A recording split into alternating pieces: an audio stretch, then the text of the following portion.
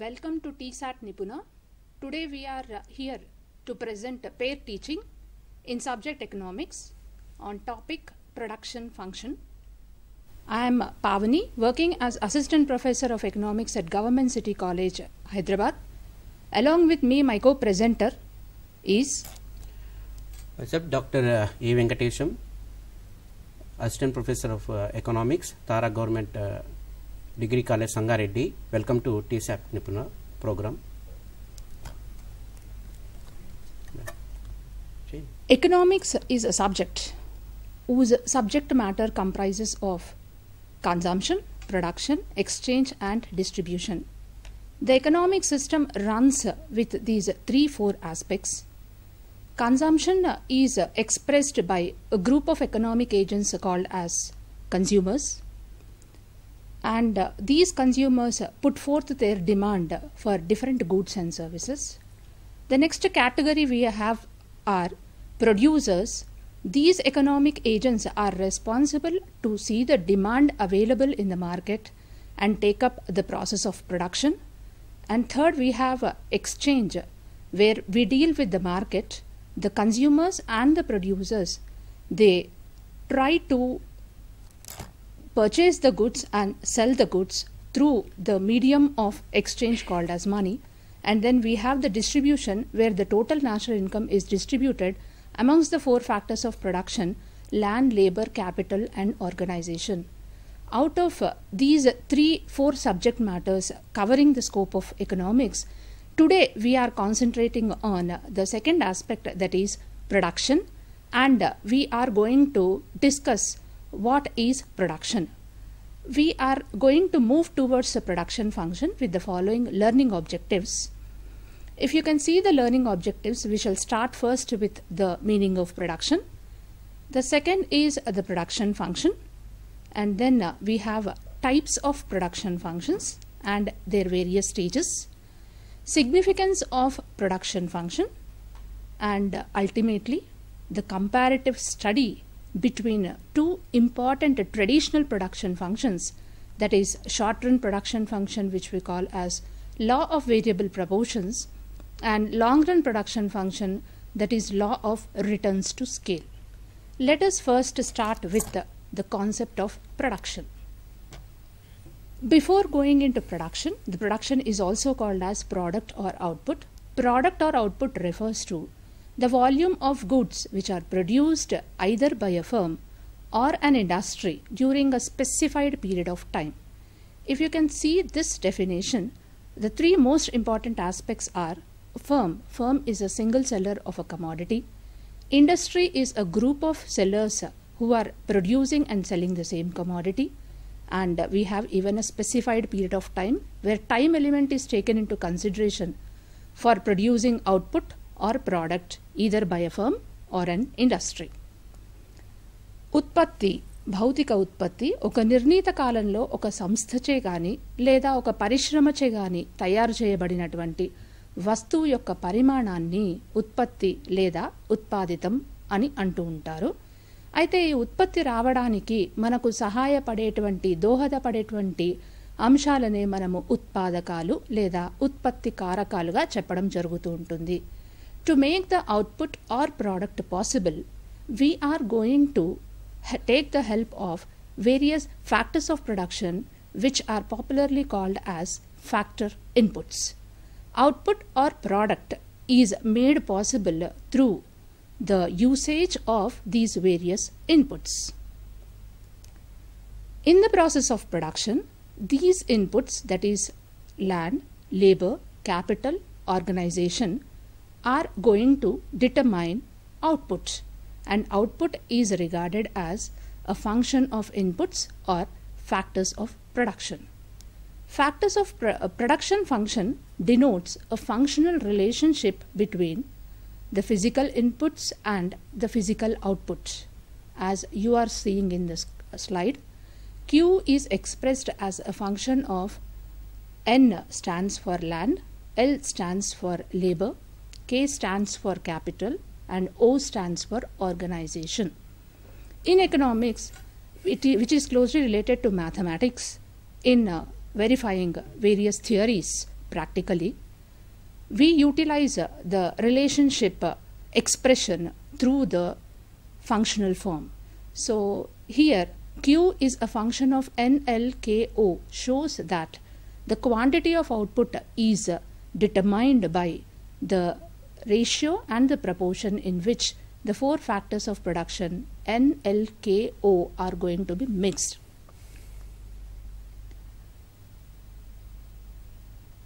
The famous uh, economist Professor Kautsianis, uh, according to him, production function not only shows a functional relationship between inputs and outputs, but also tells the technical relationship.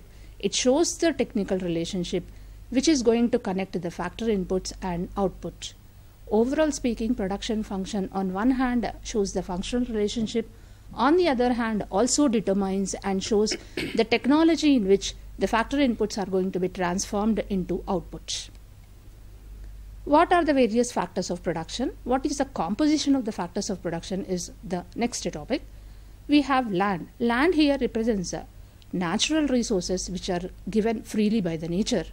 Raw materials also are included in land. Apart from that, we have various energy resources like oil natural gas etcetera భూమిలో మొదటి ఉత్పత్తి కారకమైనటువంటి భూమిలో సహజ వనరులు ముడి పదార్థాలు శక్తి వనరులు మొదలవన్నీ కూడా ఉంటాయి labour is the second factor of production labour here includes both skilled organised labour as well as unskilled unorganized labor. Overall labor comprises of all the activities which are rendered by both the skilled labor and unskilled labor together called called as human resources. Then the third one physical capital. Physical capital is the third factor of production which includes physical uh, buildings machines computers and others. Physical capital uh, also uh, comprises of even the monetary capital. Previously only the physical capital was taken into consideration but as uh, the times have changed monetary capital also started to be included as a factor of production under physical capital. And the last factor of production we have is entrepreneurship which shows the quality of the business intelligence that is applied to the production function Though this is the traditional classification of the factors of production, that is land, labor, capital, organization, the modern classification is only twofold classification. We combine labor and the entrepreneur into one and indicate it as labor, and we combine land that is N and the capital into K into one factor of production. The in the course of time the traditional uh, fourfold classification of the factors uh, got reduced to twofold classification. Therefore we just say that there are only two factors of production basically labor and capital. The last thing about the production function which i would like to tell to you is production function is determined by several determinants. We have uh, important four important determinants of the production function. The first one is availability of resources. Resources already we have classified into labor and capital. So depending upon the availability the production function is going to be built up by the concerned firm or industry. The second one is the state of technology. Technology refers to the technical process in which the factors of production, labor, and capital are going to be combined for the purpose of producing a given output during a given period of time. This state of technology could be either labor intensive technology or the capital intensive technology. State of technology again depends upon the availability of the resources in a country. If in a country the labor resources are available in more quantities, such a country will go for the labor rich technology.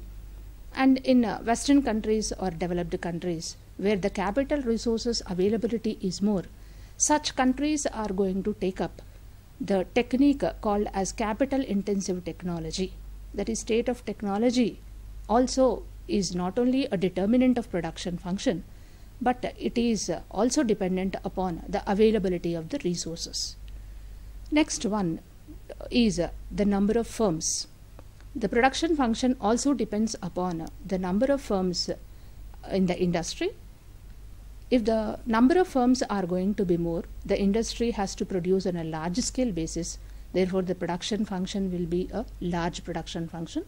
Likewise, if the number of firms in an industry are going to be less, then the scale of production has to be small. Hence, there is going to be a small scale production. Apart from that, the fourth important determinant of production function is relative prices. Prices play a very important role in construction of a production function for a producer. Whichever country has more labor resources, those countries will have the labor availability at a cheaper cost. Hence, such countries will go for a labor intensive technology. And wherever the capital resource is available in more quantities, there the capital is uh, cheaper.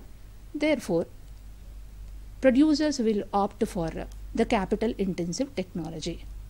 Hence, apart from these four, there are several other determinants of production function, but we are just focusing only on these four production functions. Then we have the production functions. Types of production function is now going to be presented by the co-presenter Dr. Venkatesham Garu. But before that, I would like to tell that there are several uh, production functions.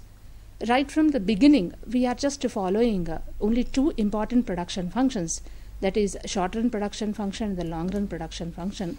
But in the course of time, uh, as the necessity and need for producing variety of goods have increased, and with the course of introduction of innovations and modern technology, even there was a change in the types of production functions. We have linear and non-linear production function, homogeneous and non-homogeneous production function, Cobb-Douglas production function, CES production function. But today's discussion, we are restricting only to the short-run production function and the long-run production function. With this, I request Dr. Venkatesham Garu to present further topic.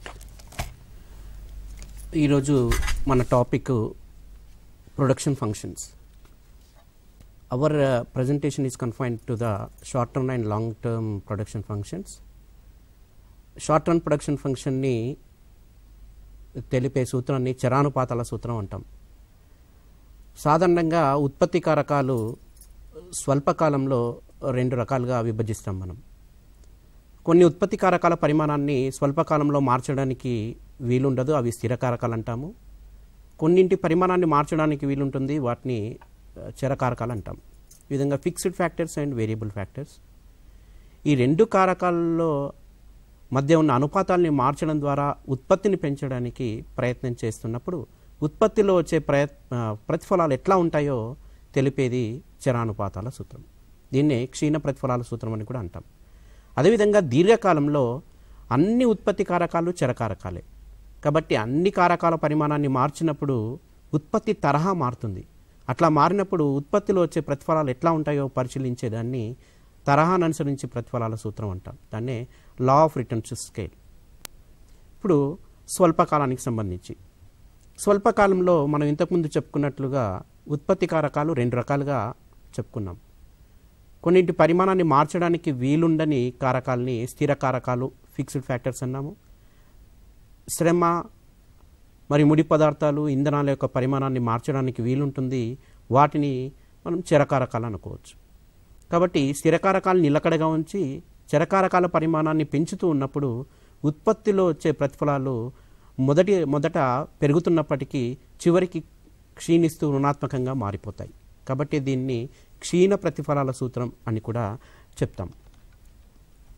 అయితే ఈ విధంగా మనం స్వల్పకాలంలో చరకారకాలు స్థిరకారకాల మధ్య అనుపాన అనుపాతాలని మార్చడం ద్వారా ఉత్పత్తిని పెంచడానికి ప్రయత్నం చేస్తూ ఉంటాము. అవి క్షీణ ప్రతిఫలాలు లభిస్తాయి. అదేవిధంగా దీర్ఘకాలంలో స్థిర చరకారకాల అనే విభజన ఉండదు. అన్ని కారకాలు చరకారకాలు కాబట్టి అన్ని కారకాల పరిమాణాన్ని మార్చుతూ ఉత్పత్తిని పెంచడానికి ప్రయత్నం చేస్తాము. అప్పుడు ప్లాంట్ సైజ్ కూడా పెరుగుతుంది. దాన్నే ఉత్పత్తి తరహా పెరుగుతుంది అంటాము. దాన్ని ఉత్పత్తి తరహాను అనుసరించి పెరుగుతున్న ప్రతిఫలాలుగా చెప్పుకుంటున్నాం. అయితే స్వల్పకాలంలో ఈ చర ఉత్పత్తి కారకాలు స్థిర ఉత్పత్తి కారకాల మధ్య అనుపాతాల్ని మార్చడం ద్వారా ఉత్పత్తిని పెంచడానికి ప్రయత్నం చేస్తున్నప్పుడు మొదట ఉత్పత్తి ప్రతిఫలాలు పెరుగుతుండడము తర్వాత క్షీణిస్తూ ఉండడము తర్వాత రుణాత్మకంగా మారిపోవడం జరుగుతుంది అని చరానుపాతాల సూత్రం పేర్కొంటుంది. కాబట్టి స్వల్పకాలంలో ఉత్పత్తి కారకాలకు ఉత్పత్తికి మధ్య ఉన్న సాంకేతిక సంబంధాన్ని లా ఆఫ్ వేరియబుల్ ప్రపోర్షన్స్ లేదా క్షీణ ప్రతిఫలాల సూత్రం చెప్తుంది. అయితే దీర్ఘకాలంలో తరానుసరించి ప్రతిఫలాల సూత్రం అనుకున్నాం. అయితే చరానుపాతాల సూత్రం ప్రకారము శాముల్సన్ నిర్వచనాన్ని పరిశీలించినట్లయితే స్థిర కారకాల్ని స్థిరంగా ఉంచి మూలధనము సాంకేతిక పరిజ్ఞానం వంటి వాటిని స్థిరంగా ఉంచి చరకారకాలైన శ్రామికుల సంఖ్యను మాత్రమే పెంచుతూ పోతున్నట్లయితే ఒక దశ దాటిన తర్వాత అదనంగా లభించే ఉత్పత్తి ప్రతిఫలాలు క్రమంగా క్షీణిస్తాయి అని ఈ సూత్రం చెప్తుంది. కాబట్టి సాంకేతిక ప్రగతిలో మార్పు లేకుండా స్థిరకారకాలని స్థిరంగా ఉంచి ఉత్పత్తి ప్రక్రియలో చిరకారకాలైన శ్రామిక ఒక కారకం యొక్క పరిమాణాన్ని మాత్రమే మార్చుతూ పోతే క్షీణ ప్రతిఫలాలు లభిస్తాయని ఈ సూత్రం ద్వారా మనం తెలుసుకోవచ్చు. అయితే చాలా రకాల ఆర్థిక సూత్రాల ప్రకారము మన చరానుపాతాల సూత్రము చరానుసంచి ప్రతిఫలాల సూత్రాలు కూడా కొన్ని ప్రమేయాలపైన ఆధారపడి ఉంటాయి. ముఖ్యంగా ఈ చరానుపాతాల సూత్రం స్వల్పకాలానికి సంబంధించింది. కాబట్టి స్వల్పకాలంలో స్థిర చర కారకాల మధ్య ఉన్న అనుపాతాలకి వాటిలో వచ్చే మార్పులకి ఉత్పత్తిలో వచ్చే మార్పులకి సంబంధాన్ని చెప్తుంది. అదేవిధంగా స్థిర కారకమైన సాంకేతిక ప్రజ్ఞానంలో కానీ మూలధన పరిమాణంలో కానీ మార్పు ఉండదు. అవి స్థిరంగా ఉంటాయని ప్రమేయం చేస్తున్నాం. నెక్స్ట్ ఒక కారకాన్ని స్థిరంగా ఉంచి మరో కారకానికి పెంచడానికి వీలుంటుంది. అంటే the proportion between fixed factors and variable factors we can change that కాబట్టి ఆ- ఆ అనుపాతాల్ని మార్చడానికి వీలుంటుంది. నెక్స్ట్ చరకారకమైన శ్రమ కానీ ఈ ముడి పదార్థాలు కానీ ఇలాంటి వాటి యొక్క యూనిట్లన్నీ సజాతీయంగా ఉంటాయని చెప్తున్నాం. అంటే ఒక శ్రామికుడి యొక్క ఉత్పత్తి సామర్థ్యంతో పోల్చినప్పుడు మరొక శ్రామికుడి యొక్క ఉత్పత్తి సామర్థ్యం కూడా ఒకే విధంగా ఉంటుందని ప్రమేయం చేస్తున్నాం మనం ఇక్కడ.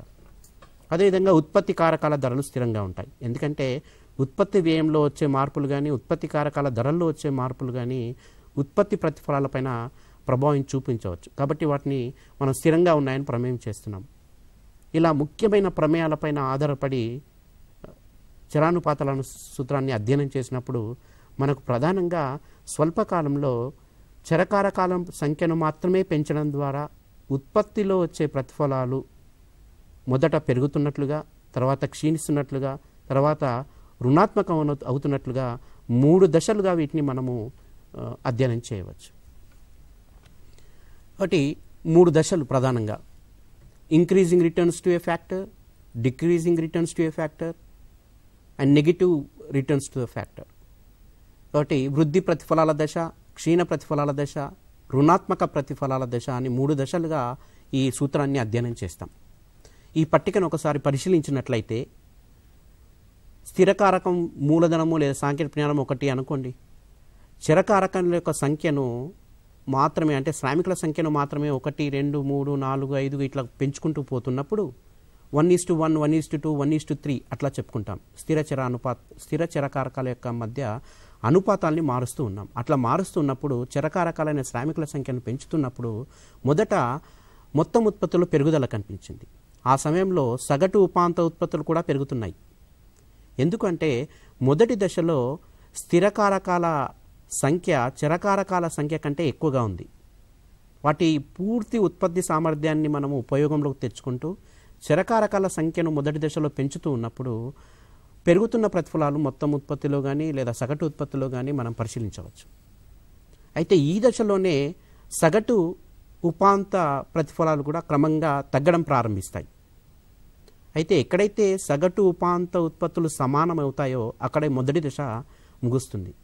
ఇక రెండో దశలో ఇంకా చరకారకాల సంఖ్యను అదేవిధంగా ఉత్పత్తిని పెంచడానికి ప్రయత్నం చేస్తూ చరకారకాల సంఖ్యను పెంచుతూ ఉన్నట్లయితే క్రమంగా సగటు ఉపాంత ఉత్పత్తులు క్షీణిస్తూ మొత్తం ఉత్పత్తి గరిష్టమైన వద్ద ఉపాంత ఉత్పత్తి శూన్యమవుతుంది. అది ఎనిమిదో శ్రామికుణ్ణి అదనపు శ్రామికుని నియమించినప్పుడు మొత్తం ఉత్పత్తి గరిష్టమైనట్లుగా ఉపాంత ఉత్పత్తి శూన్యమైనట్టుగా మనం గమనించవచ్చు. తర్వాత తొమ్మిది పది శ్రామికుల సంఖ్యను మార్చినప్పుడు వాటి ద్వారా వచ్చే ప్రతిఫలాలు సగటు ఉత్పత్తిలో కానీ ఉపాంత ఉత్పత్తిలో కానీ క్షీణిస్తూ ఇక ఉపాంత ఉత్పత్తి శూన్యమైపోయింది కాబట్టి ఇక రుణాత్మకంగా మారిపోయింది. కాబట్టి ఆ సమయంలో మూడో దశలో మొత్తం ఉత్పత్తి ఇక తగ్గడం ప్రారంభించింది. అంటే ఉపాంత ఉత్పత్తి రుణాత్మకంగా మారిపోయింది. దీన్ని మనము పటంలో కూడా చూడవచ్చు. ఈ పైన ఉన్న పటాన్ని రేఖను చూడండి. అది మొత్తం ఉత్పత్తి రేఖ. ఈ మొత్తం ఉత్పత్తి రేఖ కుడివైపుకు వంగి ఉంది. అంటే మొత్తం ఉత్పత్తిలో పెరుగుదల ఉంది. కానీ తగ్గుతున్న రేట్లో పెరుగుతున్నట్లుగా మొదటి దశ వరకు చూడొచ్చు మనం. ఈ మొదటి దశలో ఉపాంత ఉత్పత్తి సగటు ఉత్పత్తి కంటే ఎక్కువగా ఉండి సమానమయ్యాయి రెండు. ఇంతవరకు మొదటి దశ పుట్టినాం ఇక్కడ ఉత్పత్తి ప్రతిఫలాలు పెరుగుతున్నాయి కాబట్టి దీన్ని వృద్ధి ప్రతిఫలాల దశ లేదా increasing returns to a factor అంటారు. ఇక రెండో దశలో ఇంకా చిరకారకాల ఎక్సక్షం పైన చిరకారకాలు చూడండి. శ్రామికుల సంఖ్యను ఇంకా మనం పెంచుతూ ఉన్నట్లయితే క్రమంగా మొత్తం ఉత్పత్తిలో వచ్చే పెరుగుదల తగ్గుతున్న రేట్లో పెరుగుతూ చివరికి గరిష్టమైపోయింది. ఎనిమిదో శ్రామికుడి దగ్గర గరిష్టమైనట్టుగా చూశాం. అంతకంటే గరిష్ట సంఖ్య ఆ రేఖలో కనిపించదు. అంటే ఇక్కడ ఉపాంత ఉత్పత్తి ఎక్సక్షాన్ని తాకి క్రిందికి పోతుంది. అంటే మొత్తం ఉత్పత్తి గరిష్టమైనప్పుడు ఉపాంత ఉత్పత్తి శూన్యమైంది. When total production is maximum marginal product production becomes zero కాబట్టి ఇది క్షీణ ప్రతిఫలాల దశ అంటాం. ఈ క్షీణ ప్రతిఫలాల దశ రావడానికి ఉత్పత్తి కారకాల అంటే స్థిర చరకారకాల యొక్క పరిమాణాన్ని మారుస్తున్నాం కాబట్టి ఈ స్థిర చరకారకాల మధ్య ఉన్న సమ్మేళనం అభిలషణీయం కాదు అన్నమాట. అప్పుడు క్షీణ ప్రతిఫలాలు లభిస్తున్నాయి. అయినప్పటికీ ఇంకా ఉత్పత్తిని పెంచడానికి మనం ప్రయత్నం చేస్తే తొమ్మిది పదియో శ్రామికుడిని అదనంగా నియమిస్తున్నప్పుడు అప్పుడు మొత్తం ఉత్పత్తిగా తగ్గడం ప్రారంభించింది. మొత్తం ఉత్పత్తి తగ్గడం ప్రారంభించినప్పుడు ఉపాంత ఉత్పత్తి రుణాత్మకంగా మారిపోయింది. అంటే ఈ మూడో దశను రుణాత్మక ప్రతిఫలాల దశ అంటారు. దీన్నే negative returns to a factor? కాబట్టి ఈ విధంగా స్వల్పకాలంలో స్థిరకారకాలని మార్చకుండా చరకారకాల సంఖ్య అయిన శ్రామికుల పరిమాణాన్ని మారుస్తూ ఉన్నప్పుడు పెంచుతూ ఉన్నప్పుడు ఉత్పత్తిలో వచ్చే ప్రతిఫలాలు క్రమంగా క్షీణిస్తాయి. కాబట్టి దీన్ని క్రమక్షీణ ప్రతిఫలాల సూత్రం అని. స్థిరచర అనుపాతాల నువ్వు మార్చడం ద్వారా ఉత్పత్తిలో ప్రతిఫలాలను పరిశీలిస్తున్నాం కాబట్టి దీన్ని చరానుపాతాల సూత్రం అని కూడా పిలుస్తాం.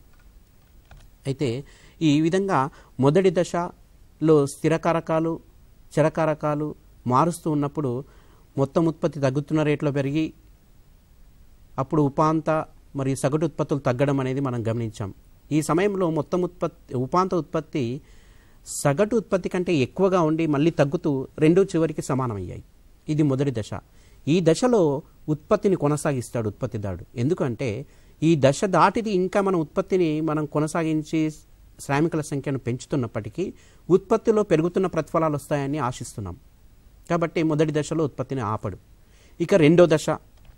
రెండో దశలో మొత్తం ఉత్పత్తి గరిష్టమైంది. ఎందుకు అంటే స్థిరకారకాల సంఖ్యను మించి చరకారకాల పరిమాణాన్ని పెంచుతున్నాం మనం. అట్లా పెంచినప్పుడు ఉత్పత్తిలో వచ్చే అంటే ప్రతి అదనపు శ్రామికుడి ద్వారా వచ్చే ఉపాంత ఉత్పత్తి శూన్యమైపోయింది. అంటే క్రమంగా తగ్గుతూ శూన్యమైంది. అంటే మొత్తం ఉత్పత్తి గరిష్టమైనప్పుడు ఉపాంత ఉత్పత్తి శూన్యమైంది. కాబట్టి ఇక్కడ క్షీణ ప్రతిఫలాలు లభిస్తున్నాయి.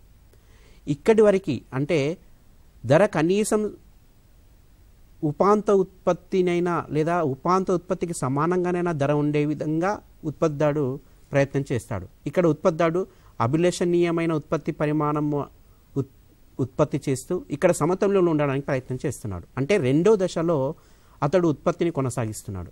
ఇక మూడో దశ మూడో దశలో ఇంకా శ్రామికుల సంఖ్యను పెంచుతూ ఉన్నట్లయితే ఉత్పత్తి క్రమంగా క్షీణిస్తుంది. కాబట్టి ఉపాంత ప్రతిఫలాలు రుణాత్మకంగా మారిపోయాయి. కాబట్టి ఉపాంత ప్రతిఫలాలు రుణాత్మకమయ్యాయి కాబట్టి అది నష్టదాయకం. కాబట్టి మూడో దశకి ఉత్పత్తిదాడు చేరడు. కాబట్టి ఈ రెండో దశలో మాత్రమే ఉత్పత్తిదాడు ఉత్పత్తిని కొనసాగిస్తూ ఉంటాడు. కాబట్టి దీన్నే phase phase of business operation అంటాం మనం. కాబట్టి a rational producer will always seek to operate in the second phase of law of variable proportions ఎందుకంటే ఇది అతడికి మొదటి దశలో ఉత్పత్తిని ఆపకుండా కొనసాగిస్తే ప్రతిఫలాలు పెరుగుతాయి. కాబట్టి కంటిన్యూ చేస్తాడు. కాబట్టి రెండో రెండో దశలో ఉత్పత్తిని కొనసాగిస్తాడు. మూడో దశకి వెళ్తే నష్టాలు వస్తాయి కాబట్టి మూడో దశకు వెళ్ళాడు. కాబట్టి రెండో దశను ప్రామాణికంగా చెప్పుకోవచ్చు. అక్కడ ఉత్పత్తిదారుడు లేదా సంస్థ అక్కడ అభిలేషణ స్థాయిలో సమతుల్య స్థితిలో ఉంటాయని కూడా మనము చెప్పుకోవచ్చు. అయితే ఈ సూత్రానికి చాలా ప్రాధాన్యం ఉంది. అర్థశాస్త్ర సాహిత్యంలోనే కాదు మన నిజ జీవితంలో కూడా చాలా ప్రాధాన్యత ఉంది. ఇప్పుడు సాంప్రదాయ ఆర్థికవేత్తలు కన్వెన్షనల్గా ఈ సూత్రాన్ని కేవలం ఒక వ్యవసాయ రంగానికే ప్రమి పరిమితం చేసినప్పటికీ ఆధునిక ఆర్థికవేత్తల ప్రకారము దీన్ని ఆధునిక రంగాలైన పారిశ్రామిక ఇతర రంగాలకు కూడా దీన్ని అన్వయింపచేయవచ్చు. కాబట్టి ఈ సూత్రానికి సార్వజనీనత ఉంది అని చెప్పవచ్చు అదేవిధంగా ఈ సూత్రము చాలా రకాల ఆర్థిక సిద్ధాంతాలకి ప్రాతిపదికగా లేదా ఆధారంగా ఉంది. ప్రతిస్థాపన సూత్రం కానీ మార్తస్ జనాభా సిద్ధాంతం కానీ ఉపాంత ఉత్పాదకత పంపిణీ సిద్ధాంతం కానీ రికార్డో బాటక సిద్ధాంతం వంటివి ఈ సూత్రం పైనే ఆధారపడి ఉన్నాయి. కాబట్టి ఉత్పత్తి కారకాల పరిమాణాన్ని పెంచితే క్ష- ప్రతిఫలాలు క్రమంగా క్షీణిస్తాయి. ఒక దశ దాటిన తర్వాత క్షీణిస్తాయని తెలిపే ఈ సూత్రం పైన ఇలాంటి సిద్ధాంతాలు ఆధారపడి రూపొందించబడ్డాయి. అదేవిధంగా అభివృద్ధి చెందుతున్న మనలాంటి ఆర్థిక వ్యవస్థల్లో ప్రధానంగా అసంఘటిత రంగమైన పారిశ్ర వ్యవసాయ రంగంలో ఈ సూత్రాన్ని మనము అనువర్తింప చేసుకోవచ్చు కాబట్టి అంతటి ప్రాధాన్యత ఈ సూత్రానికి ఉంది అని మనం చెప్పుకోవచ్చు. ఇప్పుడు తరాన్ని అనుసరించి ప్రతిఫలాల సూత్రం దీన్ని దీర్ఘకాలానికి సంబంధించిన ఉత్పత్తి ప్రతిఫలము అని అంటాము. దీన్ని మా కో ప్రెసెంటర్ పావని గారు కంటిన్యూ చేస్తారు. Thank you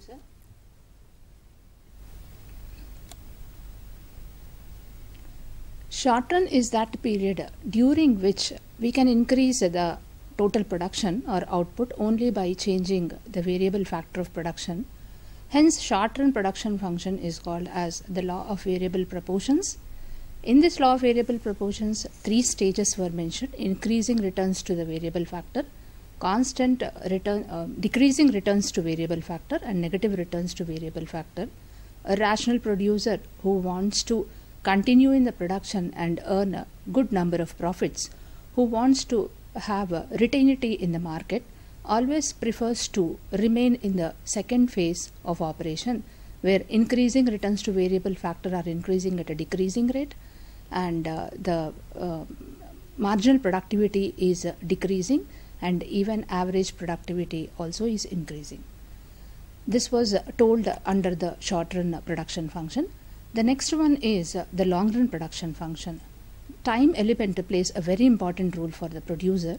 Long run usually refers to a period of more than 5 years, maybe it may extend sometimes even to 10 years period also. When there is so much amount of time available for the producer, all the factors of production are not going to be uh, uh, fixed, but they are going to be variable.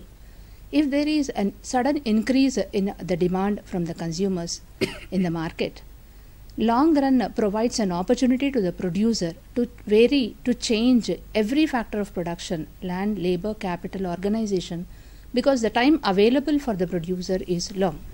Hence, in long run, there is no fixed factor of production. All the factors of production which were fixed in the short run are now going to be the variable factors.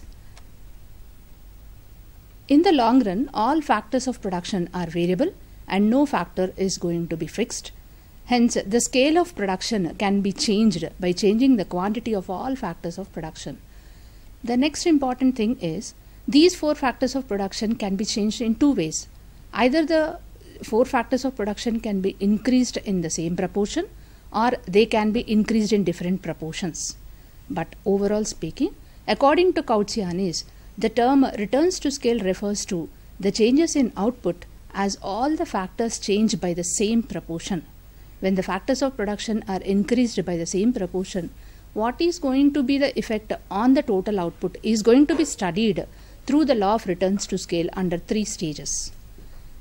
When all the inputs are increased, returns can be either increasing or constant or diminishing. Under law of returns to scale, again the producer can experience three important uh, stages. In the first stage, he may face increasing returns to scale.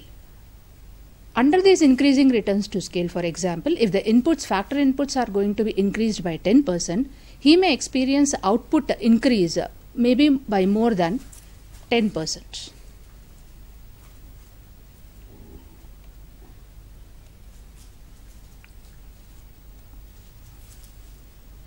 As you are seeing in uh, this table, a supportive table, uh, labor and capital, uh, both of them have, are, have become the variable factors and their proportions are increased.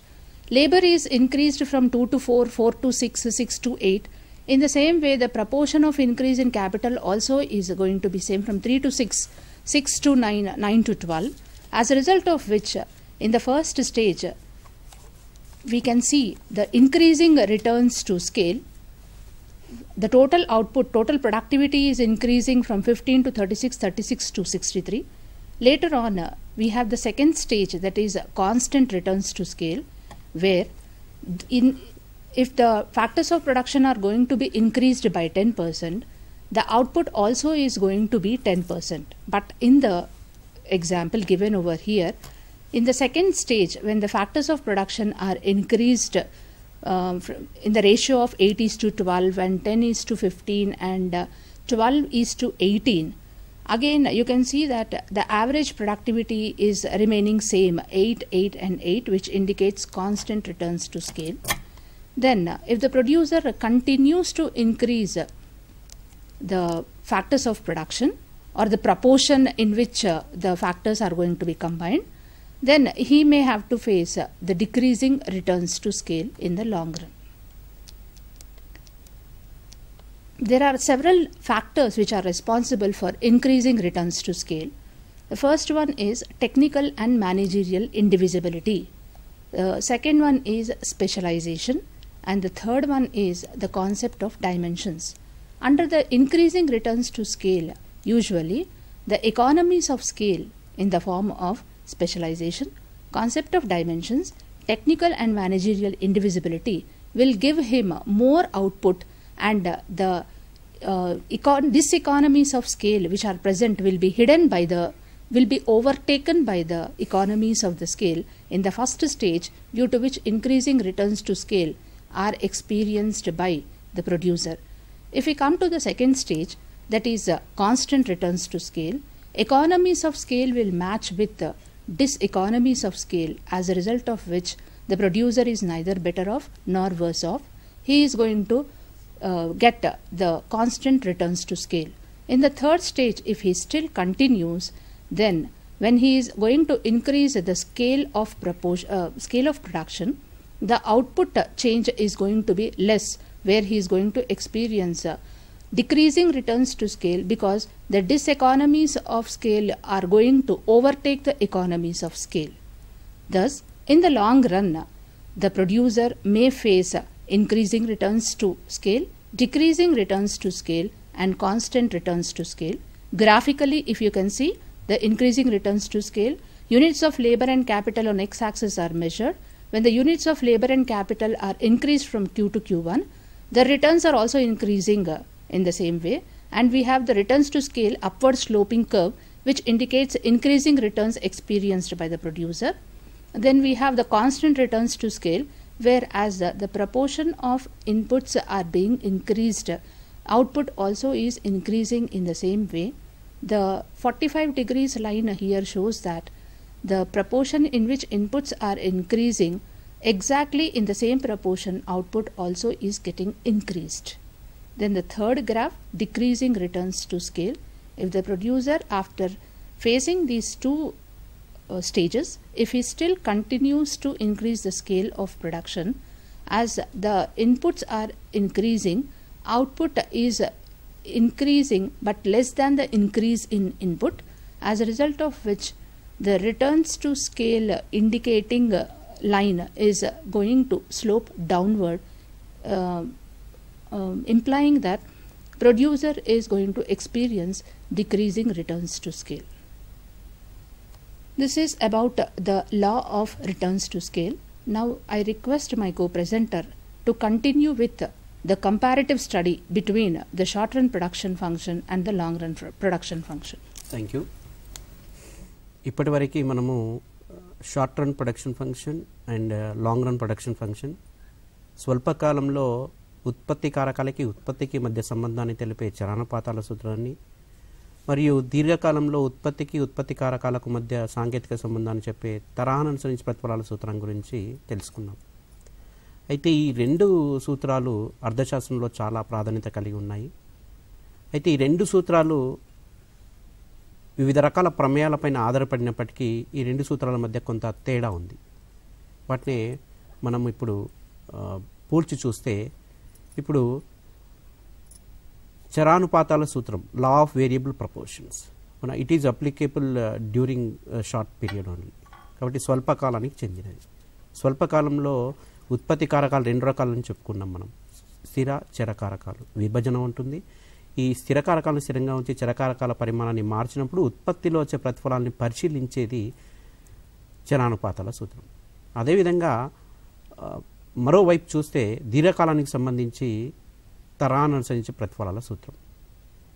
It is applicable during long run period దీర్ఘకాలంలో అన్ని కారకాలు చరకారకాలే. ఉత్పత్తి కారకాల మధ్య విభజన ఉండదు.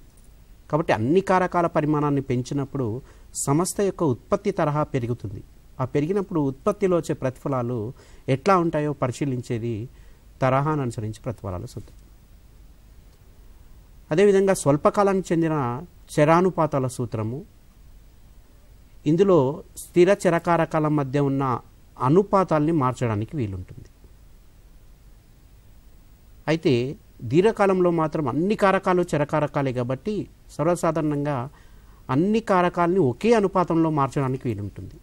ఈ స్థిర చరకారకాల మధ్య అనుపాతాల్ని మార్చడం అంటూ దీర్ఘకాలంలో ఉండదు. అదేవిధంగా స్వల్పకాలంలో చరానుపాతాల సూత్రంలో పెరుగుతున్న ప్రతిఫలాలు క్షీణ ప్రతిఫలాలు రుణాత్మక ప్రతిఫలాలు అని మూడు దశలు ఉంటాయని చెప్పుకున్నాం.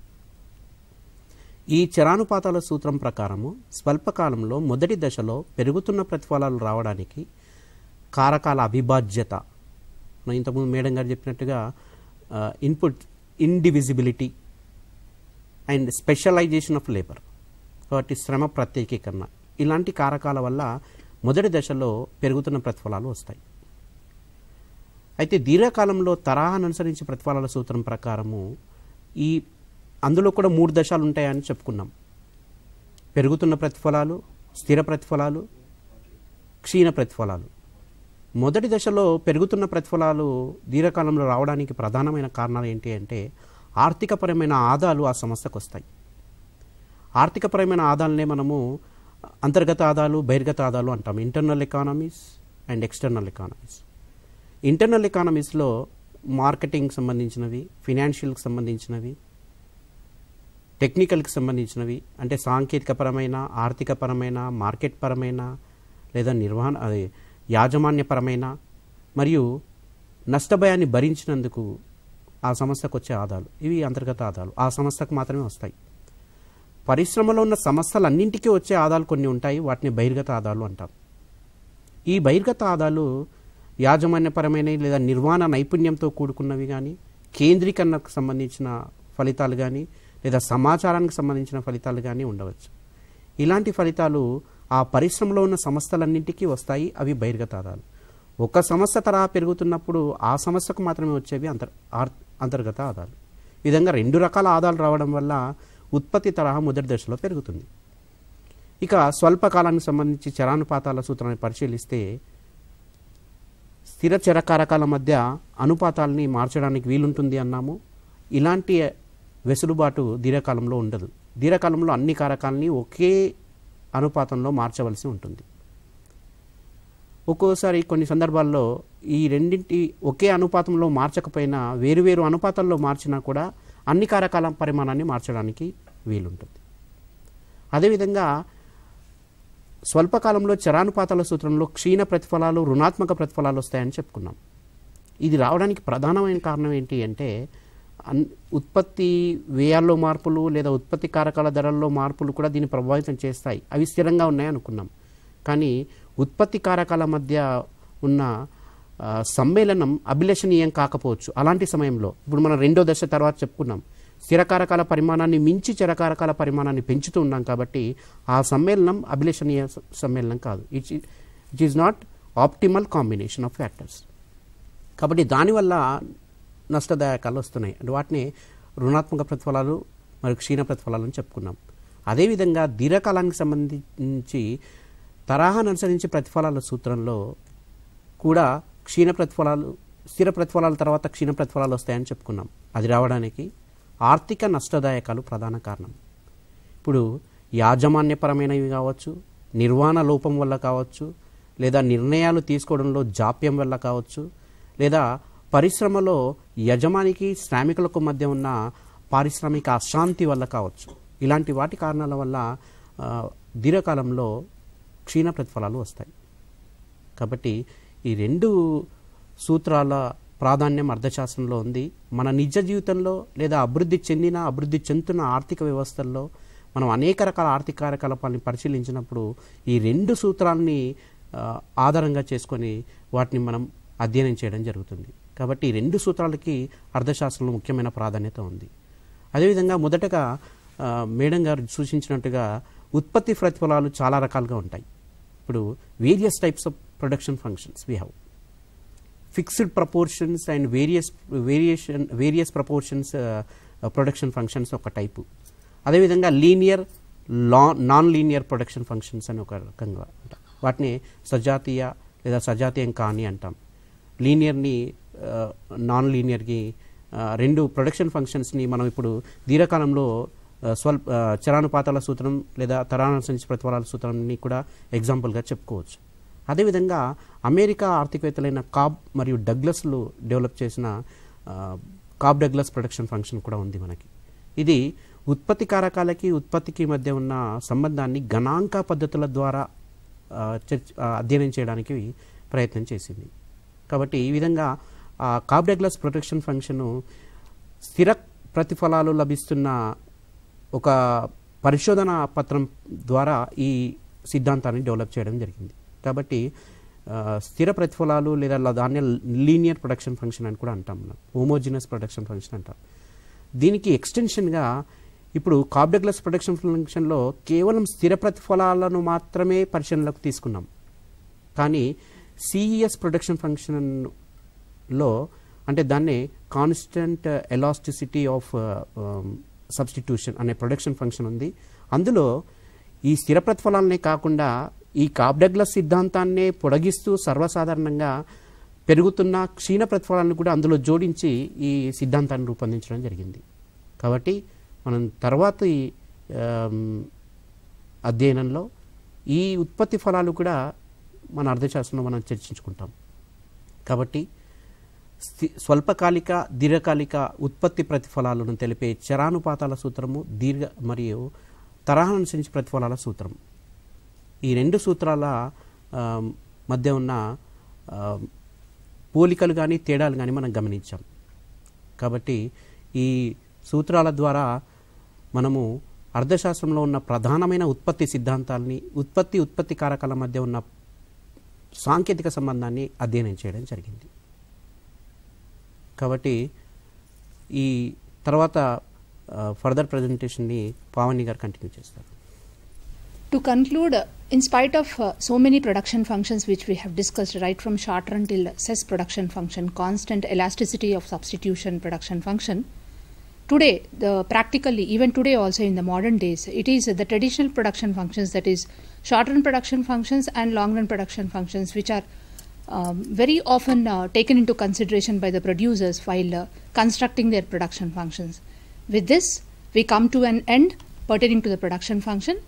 Thank you for giving us this opportunity. We thank Government of Telangana, Commissionerate of Collegiate Education, the government lecturers and the aided college lecturers and all the students uh, for uh, all the teaching uh, uh, fraternity as well as even the non-teaching fraternity for their contribution in uh, providing uh, audio-visual facilities to the students. Thank you.